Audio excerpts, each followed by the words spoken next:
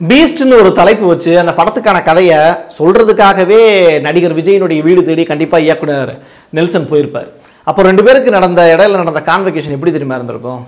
Nelson சொல்லியிருப்பார் sir அது வந்து பீஸ்ட் படம் அப்படிங்கிறது உங்கள் துப்பாக்கி படத்தோட டபுள் மடங்காக இருக்கும் சார்.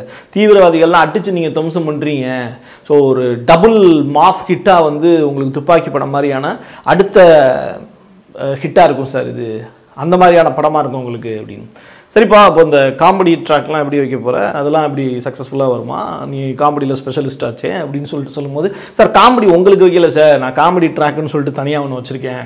அதுதான் வந்து விடிவி கணேஷ் அதுக்கப்புறம் கிங்ஸ்லி அதுக்கப்புறம் யோகி பாபு சார்லாம் வச்சுருக்கேன்.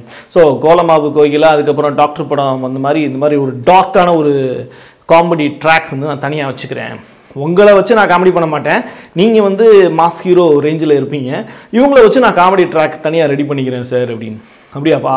அப்போ எப்படிப்பா அந்த வேற என்னெல்லாம் படத்தில் வந்து நீ வச்சுருப்ப அப்படின்னு? சார் கொஞ்சம் காலமாக வந்து நீங்கள் உங்களுக்கு இப்போ சிவகார்த்திகேயன் சார்லாம் உங்களுடைய அந்த சின்ன குழந்தைங்களுக்கான அந்த ஃபேன்ஸை பூரா அவர் எடுத்துகிட்டு போயிட்டாரு. ஸோ இந்த குழந்தைங்களுக்கான விஜய் அப்படின்னு சொல்லிட்டு அந்த இடையில அந்த ஒரு மாஸ் வந்து விட்டு போச்சு சார் அதை மறுபடியும் மீட்கக்கூடிய வேலையை வந்து கண்டிப்பாக இந்த பீஸ்ட் படம் செய்யும். அதுக்கான கேரண்டி நான் தரேன். மறுபடியும் குழந்தைங்களுக்கெல்லாம் அவங்கள பிடிக்கக்கூடிய ஒரு நடிகராக மறுபடியும் இந்த பீஸ்ட் படத்தை நான் மாற்றி காட்டுவேன். அதுக்கான ஒரு ஹீரோ இமேஜ் அப்படிங்கிறத நான் வந்து பர்ஃபெக்டாக வந்து அடுத்த ரேஞ்சுக்கு நான் நகர்த்தி கொண்டு போவேன். அப்படிங்கிற மாதிரியான விஷயம்லாம் சொல்லி தான் நடிகர் விஜயை இந்த படத்துக்கு வந்து ஒத்துக்க வச்சிருப்பாருன்னு தான் நினைக்கிறேன். ஏன்னா படம் பார்த்ததை வச்சு நான் புரிஞ்சுக்கிட்டது. அதுக்கப்புறம் வந்து தான் கலாநிதி மாறன் சார்கிட்ட சொல்லி கதை ஓகே ஆகி ப்ரொடியூஸ் பண்ணலாம் அப்படின்னு சொல்லிட்டு முடிவெடுத்திருப்பாங்கன்னு நினைக்கிறேன். எதை வச்சு இப்படி சொல்கிற அப்படின்னா நான் படம் பார்த்துட்டேங்க. நான் இரநூறுவா கொடுத்து படம் பார்த்துட்டேன். படம் ஒருத்தான்னு கேட்டிங்கன்னா இரநூறுவாய்க்கு ஒருத்தான படம் தான்.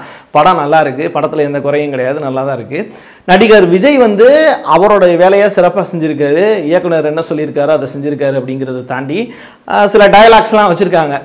விஜயை பொறுத்தளவில் சில அரசியல் வசனங்கள்லாம் அந்த இடத்துல இருக்கணும் அப்படிங்கிறத அவரும் பிரயாசப்பட்டிருப்பார். ரெண்டாவது அரசியல் பேசாமல் இங்கே படங்கள் வந்து பெரிய அளவில் இப்போதைக்கு எடுக்கக்கூடிய படங்கள் எதுவும் சக்ஸஸ் ஆகிறது இல்லை ஸோ பாரஞ்சித் அப்படிங்கிற ஒரு கேரக்டர் உள்ளே வந்ததுக்கு அப்புறமே தொடர்ந்து அரசியல் சம்பந்தமான படங்கள் அப்படிங்கிறது தமிழ்நாட்டில் அரசியல் பேசுனீங்க அப்படின்னா எல்லா தரப்பு மக்கள்கிட்டையும் அது ரீச் ஆகும் அப்படிங்கிற மாதிரியான கான்செப்ட் வந்துருச்சு.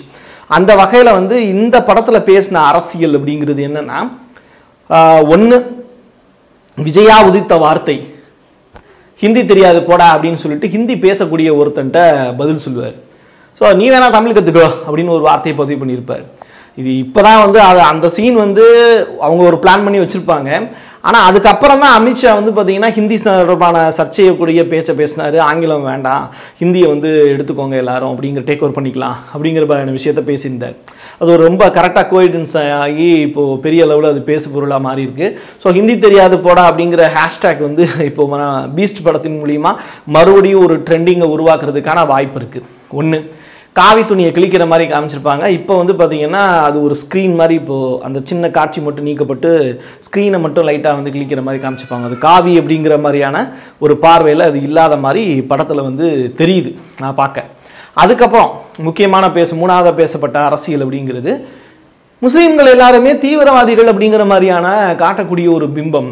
அது வந்து காலத்துக்கும் வந்து பார்த்திங்கன்னா தமிழ் சினிமாவில் தொடர்ச்சியாக எடுக்கக்கூடிய படங்கள் எல்லாத்துலேயுமே இஸ்லாமியர்களை தீவிரவாதிகளாக சித்தரிக்கக்கூடிய காட்சிகள். இதில் இந்த படத்தில் வந்து எதுக்காக அவங்க தீவிரவாதிகளாக இருக்க ஐஎஸ்ஐஎஸ் அப்படிங்கிற அமைப்பை மையப்படுத்தி பேசுகிறாங்க ஆனால் அதுக்குள்ளே வந்து ஏகப்பட்ட அரசியல் வந்து இருக்குமோ அப்படின்னு நினைக்க தோணுது. குறிப்பாக வந்து அங்கே இருக்கக்கூடிய யூதர்களை வந்து யூதர்கள் ப்ளஸ் வந்து இஸ்லாமியர்கள் இவங்க எல்லாரையும் அப்படியே அப்படியே அப்படியே லைட்டாக ஒரு நீங்கள் படம் பார்த்தீங்கன்னா தெரியும். அதுக்குள்ளே ஒரு சின்ன சின்ன அரசியல் வச்சுருக்காங்க. இந்த அரசியலை பற்றி நம்ம பேசுகிறதுக்காக இந்த விமர்சனம் கிடையாது. இது படத்துக்குள்ளே மட்டும் பேசிக்கலாம். விஜயை பொறுத்தளவில் குழந்தைகளுக்கான ஒரு படமாக இது நிச்சயமாக இருக்கும் அப்படிங்கிறத ஒரு பெரிய அளவில் நம்பியிருக்காரு. அந்த வகையில் அவருடைய டான்ஸ் பர்ஃபார்மன்ஸுங்கிறது பக்காவாக இருக்குது எப்பயுமே எதிர்பார்த்த ஒரு விஜய் தான் வந்து இந்த படத்தில் வந்து ரசிகர்கள் பார்க்குறாங்க விஜயினுடைய உடல் வாகு அப்படிங்கிறது ஒரு நாற்பத்தைந்து வயதுக்கு மேற்பட்ட நபரா விஜய் அப்படின்னு சொல்லிட்டு பார்த்தீங்கன்னா ஆச்சரியப்படுவீங்க. எப்படி பூவை உனக்காக படத்தில் வந்து ஒரு சாதாரணமாக ஒரு யூத்தாக வந்து நிற்பாரோ அதே மாதிரியான ஒரு இளைஞனாக தான் அன்னைக்கு விஜய் வந்து பார்க்க முடியுது. எப்படி இந்த அளவுக்கு வந்து தன்னுடைய உடலை வந்து ரெடி பண்ணி இதுக்காகவே வந்து அர்ப்பணிப்பு உணர்வோடு இருக்காரு அப்படிங்கிறது தெரியல. ரொம்ப ஆச்சரியமான ஒரு விஷயம்தான். தொடர்ந்து விஜய் கிட்ட இயக்குனர் நெல்சன் வந்து சரணடைஞ்சதாக தான் பார்க்க முடியுது. ஏற்கனவே வந்து சில அந்த இன்டர்வியூஸ்லாம் நம்ம பார்த்தோம் அப்படின்னா டேரெக்டாக வந்து ஏகப்பட்ட விஷயங்கள் வந்து கேட்குறதுக்கு எவ்வளோ விஷயங்கள் இருக்குது ஆனால் ஆக்டர் விஜய் கிட்ட டோட்டலாக வந்து இயக்குனர் நெல்சன் அப்படிங்கிறவர் தன்னை ஒப்படைச்சிட்டாரு அப்படிங்கிற மாதிரி தான் என்னால் பார்க்க முடியுது. ஆர்ஆர்ஆர் ராஜமௌலி மாதிரியோ இயக்குனர் ஷங்கர் சங்கர் மாதிரியோ தன்னுடைய கதைக்காக போராடக்கூடிய ஒரு இயக்குனராக இருப்பாரா நெல்சன் அப்படின்னு கேட்டிங்கன்னா கண்டிப்பாக கிடையாது. அவரை பொறுத்தளவில் வந்து ஏ- நடிகர்கிட்ட ஒரு கேஷ்ஷூட் கிடைக்கணும். அதே நேரத்தில் ப்ரொடியூசர் வந்து தன்னுடைய படத்துக்கு ஓகே சொல்லி பட்ஜெட் வந்து ரிலீஸ் பண்ணணும். ஸோ இது மட்டும்தான் இயக்குனர் நெல்சனை பொறுத்தளவில் இந்த படத்தில் அவருக்கான டார்கெட்டாக இருக்குது அதை வந்து அவர் சரியாக செஞ்சுருக்காரு அவ்வளோதான் மற்றபடி படத்தை வந்து நகர்த்திட்டு போயிருக்கிறது ஆக்டர் விஜயும் மியூசிக் டைரக்டராக இருக்கக்கூடிய அனிருத்தும் தான். விஜய் ஓ வரக்கூடிய எல்லா சீன்லேயுமே விஜயோட ஃப்ரேம் உள்ளே தெரியும். பின்னாடி வந்து அனிருத் வந்தோட மியூசிக் இருக்கும். இந்த ரெண்டு மட்டும்தான் பெரிய அளவில் வேலை பார்த்துருக்கு. திரைக்கதையை பொறுத்தளவில் ரொம்ப ஸ்லோவாக தான் நகருது. பெரிய அளவில் திரைக்கதைக்கோ எழுத்துக்கும் சரி இயக்கத்துக்கும் சரி கவனம் செலுத்துகிற மாதிரி தெரியல. டோட்டலாக ஷூட்டிங் ஸ்பாட்டில் இயக்குனர் நெல்சன் என்ன பண்ணிகிட்டு இருந்தார்னு தெரில தொடர்ந்து நடிகர் விஜயை வந்து அவர் கொடுத்த கால் ஷூட்டு இந்த நாள்ல இருந்து இந்த நாள் வரைக்கும் கொடுத்துருப்பார்ல. அந்த நாட்கள் வரைக்கும் தொடர்ந்து அவரை சிட்டிங்கில் உட்கார வச்சு சார் ஏதாவது பார்த்து நடிச்சு கொடுத்துட்டு போங்க அப்படின்னு சொல்கிற மாதிரி தான் இருக்கும் போல். ஏன்னா திரைக்கதையை பொறுத்தளவில் ஒரு ஸ்ட்ராங்கான ஒரு திரைக்கதையாக இருக்கா அப்படின்னு கேட்டிங்கன்னா அதில் இயக்குனர் நெல்சன் வந்து கோட்டை விட்டார். பாடல்களை பொறுத்தளவில் இருக்கக்கூடிய பாடல்கள் நல்லா தான் இருக்குது கடைசியாக ஒரு பாடல் வருது. அந்த பாடல் ஜாலியா ஜிம்கானா அது கடைசியில் வச்சுருக்காங்க. படம் முடியும் போது வச்சுருக்காங்க. அது எதுக்காக அப்படின்னா அது எடுத்துட்டோம் அந்த பாட்டை அதனால் சரி ப்ளே பண்ணுவோம் அப்படிங்கிற மாதிரி வச்சுருக்காங்க. படத்தோட ஓப்பனிங்கில் வரக்கூடிய அந்த டான்ஸ் பெர்ஃபார்மன்ஸுங்கிறது செம்மையாக இருக்குது அதே நேரத்தில் விஜய்க்காக எடுக்கப்பட்ட வந்து திரை தீப்பிடிக்கும் வெடிவெடிக்கும் அப்படிங்கிற அந்த பாடல் வரிகளாகட்டும் அந்த பாடலாகட்டும் ரசிக்கும்படியாக இருக்குது அப்படிங்கிற ஒரு விஷயத்தையும் பதிவு பண்ண வேண்டிய தேவை இருக்குது அதே நேரத்தில் ஹீரோயினாக வரக்கூடிய அந்த பூஜா ஹெக்டே அவங்க தன்னுடைய வேலையை வந்து சிறப்பாக செஞ்சுருக்காங்க. கொடுக்கப்பட்ட இடத்துல வந்து அவங்களுடைய பங்களிப்பை ரொம்ப அழகாக வந்து பர்ஃபார்மன்ஸ் பண்ணிட்டு போயிட்டாங்க. லவ் சீன்லாம் பெரிய அளவில் கிடையாது பட்டு படத்தில் அப்படியே ட்ராவல் ஆகிட்டு இருக்கு ஒரு லவ் அப்படிங்கிற ஒரு ஃபீல்லாம் கிடையாது. அப்படியே ட்ராவல் ஆகி போயிட்டே இருக்குது இது கிடைப்பட்ட கேப்பில் காமெடிங்கிற பேரில் அவங்க நடத்தக்கூடிய கூத்து வந்து பார்க்க முடியல. ஃபஸ்ட் ஹாஃப்லலாம் காமெடிங்கிற பேரில் பண்ண விஷயங்கள் எதுவுமே வந்து இன்ட்ரெஸ்டிங்காக இல்லை.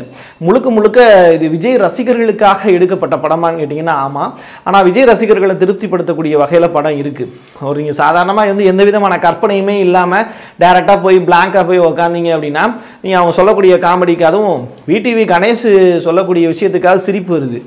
யோகி பாபுவுக்கு எழுதப்பட்ட வசனங்களோ கிங்ஸ்லிக்கு எழுதப்பட்ட வசனங்களோ எந்த விதமான சிரிப்புமே வரல. ஸோ காமெடியே வந்து பார்த்திங்கன்னா அந்த இடத்துல இல்லை. ஆனால் காமெடிக்கான ட்ராக் அப்படின்னு சொல்லிட்டு வச்சுருக்காங்க. அது ஒன்று தான் வருத்தப்படக்கூடிய ஒரு விஷயமா இருந்துச்சு. மற்றபடி படத்தில் வந்து வில்லன் அப்படிங்கிற ஒரு கேரக்டர் வச்சுருக்காங்க. அவன் பார்த்தா ஒரு வில்லனுக்கு உண்டான ஃபீலே வரமாட்டேங்குது. எதுக்காக வந்து வில்லன் அப்படிங்கிற ஒரு ஆளை வச்சிருக்காங்கன்னே தெரில படத்தில் ஹீரோவுக்கு வெயிட் ஏறணும் அப்படின்னாலே வில்லனுடைய கேரக்டர் வந்து ஸ்ட்ராங்காக இருக்கணும். அந்த வகையில் வில்லனை வந்து ரொம்ப ஒரு படு மோசமாக காமிச்சிருக்காங்க. அவர் போடக்கூடிய பிளான் எல்லாத்தையுமே விஜய் வந்து சர்வ சாதாரணமாக நொறுக்கி எழுதிட்டு போயிட்டுருக்காரு. நீங்கள் வில்லனுக்கு உண்டான அந்த ஒரு தீவிரவாதி அப்படிங்கிற அவனை பார்த்தா ஒரு தீவிரவாதி மாதிரியே எனக்கு தெரியவே இல்லை. அப்போ தீவிரவாதின்னா தீவிர ஒரு பார்த்தா ஓகே சார் குட் மார்னிங் ஒரு தீவிரவாதி நீங்கள் அப்படின்னு சொல்கிற மாதிரி இருக்கணும்ல. அது மாதிரிலாம் இல்லை. ஒரு மாலையை ஹைஜாக் பண்ணியிருக்காங்க. ஆனால் ஹைஜாக் பண்ண ஃபீலே இல்லை. எல்லாம் ஜாலியாக மாட்டுக்கு விளாண்டுக்கிட்டு இருக்காங்க யோகி பாபு காமெடி பண்ணிக்கிட்டு இருக்காரு. தீ தீவிரவாதியே வந்து பார்த்தீங்கன்னா பப்பு பப்புன்னு சொல்லி கிண்டல் பண்ணிக்கிட்டு இருக்காங்க அது யாரை சொல்கிறாங்க அப்படிங்கிறதுலாம் தெரியல. இப்படிப்பட்ட விஷயங்கள்லாம் படத்தில் இருக்குது ஸோ தீவிரவாதிகளே கிண்டல் பண்ணப்பட்ட ஒரு படம் அப்படின்னா இந்திய சினிமாலேயே இந்திய வரலாற்றிலேயே இதுதான் முதல் முறையான படமாக இருக்கும் போல். ஸோ சன் பிக்சர்ஸ் வந்து இதை ஒளிபரப்பும் போது எப்படி ஒளிபரப்பலாம் அப்படின்னா இந்திய வரலாற்றிலேயே தீவிரவாதிகளை காமெடியனாக சித்தரித்து எடுக்கப்பட்ட ஒரே ஒரு படம். வரலாற்றில் முதன்முறையாக இந்திய சினிமாவில் முதன்முறையாக அப்படின்னு ஆடு கூட போடலாம். ஸோ அந்த வகையில் ஒரு சிறப்பாக வந்து தீவிரவாதிகளை டம்மி பண்ணி எடுக்கப்பட்ட ஒரு படமாக இருக்குது இது எல்லாத்தையும் தாண்டி படத்தில் வந்து ட்ராவல் ஆகி கூட்டிகிட்டு இருக்கக்கூடிய விஷயத்தில் பாவம் செல்வராகவன் தேவையில்லாமல் வந்து மாட்டிக்கிட்டாரோ அப்படின்னு தோணுது. செல்வராகவனுடைய டேரக்ஷன் எல்லாருமே நீங்கள் பார்த்துருப்பீங்க. செல்வராகவன் ஒரு பெரிய ஒரு டேரக்டரு இந்த புதுப்பேட்டைங்கிற ஒரு படம்லாம் வந்தப்போ இந்த படத்தை எடுத்த டேரக்டர் யாருப்பா அவர்? ஒரு ஒரு ஹீரோ பார்வையிலேயே வந்து அடுத்தவனுக்கு பயம் காட்டக்கூடிய வகையில் ஒரு சின்ன பையனாக இருந்து அவனுடைய வளர்ச்சிங்கிறத அந்த அளவுக்கு புதுப்பேட்டையில் காமிச்சிருப்பார். அப்படிப்பட்ட ஒரு டேரக்டரை ஒரு நடிகனாக வந்து முத முதல்ல காட்டுறாங்க அப்படின்னா அவருக்கு அந்த ரோலுக்கு எவ்வளோ இம்பார்ட்டன்ட் கொடுத்துருக்கணும் இப்போ இயக்குனர் நெல்சன் வந்து அந்த எல்லா இடத்துலையும் தோற்று போயிட்டார். ஒரு தனக்கு கிடைச்ச ஒரு பெரிய டீம் கிட்டத்தட்ட வந்து இன்னைக்கு படம் சக்ஸஸ் தான். நான் நான் வந்து ஃபெயிலியர்னு சொல்லலை. படம் சக்ஸஸ் அருமையான படம். ஆனால் இயக்குனர் நெல்சன் வந்து செல்வராகவனை சரியாக பயன்படுத்தினாரா?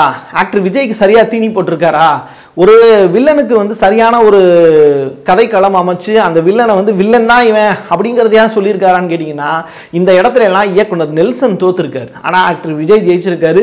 செல்வராகவன் இதில் வந்து ஒரு ஆஹ், எப்பயும் போல தான் ஒரு நல்ல உணர்ச்சி திறக்கிறதுக்குரிய ஒரு நடிகராக அவர் வந்து போயிருக்காரு அப்படிங்கிறது தான் இந்த இது எல்லாத்தையும் தாண்டி வந்து செல்வராகம் மாதிரி ஒரு ஆளை வந்து அவங்க பயன்படுத்தலையே அப்படிங்கிற ஒரு வருத்தம் தான் நமக்கு இருக்கே தவிர மற்றபடி படம் போகக்கூடிய அந்த ஒரு ரெண்டரை மணி நேரத்தை கிராஸ் பண்ணி போகுது.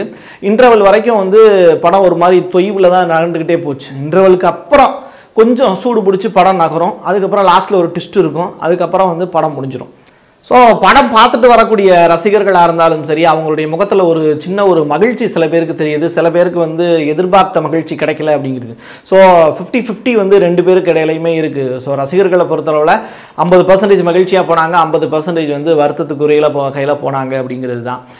விஜய் ரசிகர்களை பொறுத்தளவில் அவங்க எப்பயும் போல தான் நான் விஜய் ரசிகனாக பார்க்க வந்திருக்கேன். விஜய் எப்படி இருக்கார் ஃப்ரேமில் அப்படின்னு சொல்லிட்டு வரக்கூடியவங்களுக்கு இது இந்த படம் வந்து ஒரு செம ட்ரீட்டாக தான் இருக்குது விஜய் வந்து சூப்பராக மாஸ் ஹீரோவாக காமிச்சிருக்காங்க அப்படிங்கிறதுல எந்த விதமான டவுட்டும் கிடையாது. இந்த படத்துக்காக வந்து பல நாட்களாக காத்திருந்து பல ஆண்டுகளாக காத்திருந்து விஜயை வந்து பார்த்து தேட்டரில் பார்த்து ரசிகர்கள் கொண்டாட்டத்தில் ஈடுபட்டாங்க அப்படிங்கிற விஷயத்தையும் பதிவு பண்ண வேண்டிய தேவை இருக்குது தேட்டரில் வந்து விஜய் ரசிகர்கள் பட்டாசாக வந்து விஜய் பேசக்கூடிய எல்லா வசனங்களுக்குமே கைதட்டி தன்னுடைய ஆரவாரமாக மகிழ்ச்சியை வெளிப்படுத்தின காட்சிகள் இருந்தது. அதை தாண்டி தேட்டருக்கு வெளியிலேயே நான் இரநூறுபா கொடுத்து டிக்கெட் பா டிக்கெட் எடுத்து பார்த்தேன். தேட்டருக்கு வெளியிலேயே வந்து பார்த்தீங்கன்னா ஐநூறுரூபா ஆயிரரூபா மூவாயிரரூபா வரைக்கும் விஜயனுடைய படத்தை பார்க்கறதுக்காகவே வந்து காலேஜ் ஸ்டூடெண்ட்ஸு நிறையா பேர் வந்திருந்த காட்சிகள்லாம் பார்க்க முடிஞ்சுது. ஸோ இப்படிப்பட்ட ஒரு மாஸ் ஹீரோ அடுத்து வரக்கூடிய எலெக்ஷனை நோக்கி தன்னுடைய அரசியல் களமாக இந்த படத்தில் வந்து அப்பப்போ ஒரு வார்த்தைகள் வந்து பயன்படுத்தியிருக்காரு. ஹிந்தி தெரியாது போடா நீ தமிழ் கற்றுட்டு வாடா அப்படிங்கிற மாதிரியான வார்த்தை வார்த்தைகள்லாம் பயன்படுத்தியிருக்காரு. ஸோ விஜய் வந்து அரசியல் களத்தில் நகர்வதற்காக தன்னுடைய வசனங்களையும் ஒன்று ரெண்டு விஷயங்கள் எனக்காக வச்சுக்கோங்க அப்படின்னு சொன்னதாகவும் ஒரு விஷயங்கள் இருக்குது எல்லாத்தையும் தாண்டி ரெண்டாயிரத்தி இருபத்தி ஆறு எலெக்ஷனுக்கு முன்னாடி விஜய் அரசியல் படங்களாக தான் தொடர்ந்து இயக்க போகிறாரு நடிக்க போகிறாரு அப்படிங்கிற ஒரு விஷயம். இயக்குனர் வேறையாக இருக்கலாம் ஆனால் ஆக்டர் வந்து விஜய் தானே. ஸோ இந்த படத்தில் ஒரு ஒரு பெரிய மைனஸாக வந்து நம்ம பதிவு பண்ண வேண்டிய விஷயம் அப்படிங்கிறது. முஸ்லீம்களை தீவிரவாதிகள் அப்படின்னு சொல்லிட்டு காமிச்ச ஒரு விஷயம்தான். தொடர்ந்து வந்து பார்த்திங்கன்னா இதுக்காக இஸ்லாமிய அமைப்புகள் பெரிய அளவில் எதிர்ப்பு தெரிவிச்சுக்கிட்டு இருக்காங்க. படங்கள்லாம் வந்து குவைத்து அதுக்கப்புறம் வந்து அரபு கண்ட்ரிகள்லாம் எல்லாத்தையும் தடை பண்ணியிருக்காங்க. இன்னொருத்தவங்களை கஷ்டப்படுத்தி ஒருத்தரை மகிழ்விக்கிறது அப்படிங்கிறது வந்து ரொம்ப தவறான விஷயம். அந்த வகையில் ஜெனியூனாக சில விஷயங்கள் அதுக்கான ஆதாரங்களையாவது அடிக்கிருக்கலாம்.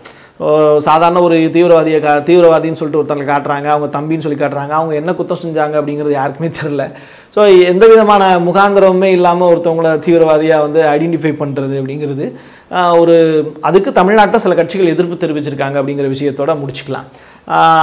இது சம்மந்தமாக வந்து அரசியல் கட்சி தலைவர்களும் வந்து பேட்டிலாம் கொடுத்துருக்காங்க. குறிப்பாக ஜெயக்குமார் வந்து இந்த பேட்டி நான் சொல்கிறதுக்கு கொஞ்ச நேரத்துக்கு முன்னாடி தான் ஜெயக்குமார் பேட்டி கொடுத்துருந்தார். தமிழ் வந்து உலகத்தினுடைய முதல் மொழி அப்படிங்கிற விஷயத்தெல்லாம் வந்து பதிவு பண்ணியிருந்தாரு. நம்ம ஒரு கேள்வி கேட்டோம் அப்படின்னா கேள்வி கேட்டது என்ன அப்படின்னா ரொம்ப சாதாரணமான கேள்வி தான் விஜய் வந்து ஹிந்தி தெரியாது போடாங்கிற வார்த்தையை பயன்படுத்தியிருக்காரு. அதுக்கு உங்களுடைய பதில் என்ன அப்படின்னு. அதுக்கு கீழே கமெண்ட்லாம் வந்து பார்த்தீங்கன்னா நான் ஒரு கேள்வி கேட்டேன் அப்படின்னா நம்மளை அசத்துற மாதிரி வந்து பதில் சொல்லக்கூடியவர் தான் ஜெயக்குமார் அப்படிங்கிற மாதிரியான கமெண்ட்லாம் பதிவு பண்ணியிருந்தாங்க. அதை மீப்பிக்கக்கூடிய வகையில் தான் ஜெயக்குமாரோடைய பதிலும் இருந்தது. குறிப்பாக அவர் சொல்லும்போது தமிழ் வந்து உலகத்தினுடைய மிகப்பெரிய மொழி நம்ம தாய்மொழி அப்படிங்கிற விஷயத்தை எல்லாத்தையும் பதிவு பண்ணி கடைசி வரைக்கும் விஜய் பேசுனது சரியா தப்பா இல்லை என்ன விஷயம் ஏது விஷயம் அந்த கேள்விக்கான பதில் சொல்லாமல் அவர் நினச்சதை மட்டும் பேசிட்டு போயிட்டாரு. ஸோ இப்படி விஜய் வந்து ஒரு படத்தில் நடிக்கிறாரு அப்படின்னா அதுக்கு அரசியல் கட்சி தலைவர்கள் விமர்சனம் கொடுக்கக்கூடிய வகையில் அவருடைய இமேஜுங்கிறது உயர்ந்திருக்கு அப்படிங்கிற ஒரு விஷயத்தையும் பதிவு பண்ண வேண்டிய தேவை இருக்குது இப்படிப்பட்ட இமேஜ் இருக்கக்கூடிய ஒருத்தர் தன்னை ஒருத்தர்கிட்ட இயக்குனர்கிட்ட போய் சரண்டர் பண்ணும்போது அந்த இயக்குனருக்கு எந்த அளவுக்கு கெப்பாபிலிட்டி இருக்குது அப்படிங்கிறதையும் சிந்திக்கணும். ஸோ நெல்சன் மாதிரியான ஆளுங்க கிட்ட போய் வந்து இயக்குனர் விஜய் போய் சரண்டர் ஆனது அப்படிங்கிறது ரொம்ப என்னை பொறுத்தளவில் வந்து நாட் சாட்டிஸ்ஃபைடு அப்படிங்கிற ஒரு விஷயந்தான் ஸோ இனிமேல் இயக்குனர் தேர்ந்தெடுக்கும் போதும் விஜய் வந்து பெரிய அளவில் கவனத்தில் வச்சுக்கணும் அப்படிங்கிற விஷயத்தையும் இந்த இடத்துல பதிவு பண்ண வேண்டிய தேவை இருக்குது